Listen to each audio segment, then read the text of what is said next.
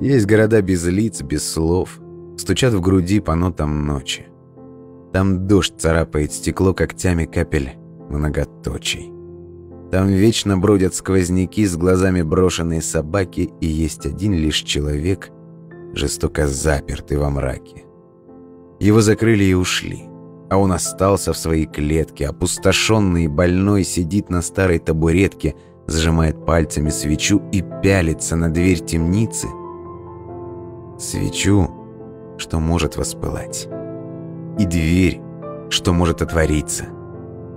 Но человек привык страдать, привык баюкать свои муки, и даже если сам Господь ключи положит в его руку и осветит его тюрьму и скажет, где зарыто чудо, найдутся тысячи причин, чтобы не выбраться отсюда. Стихотворение Дикона.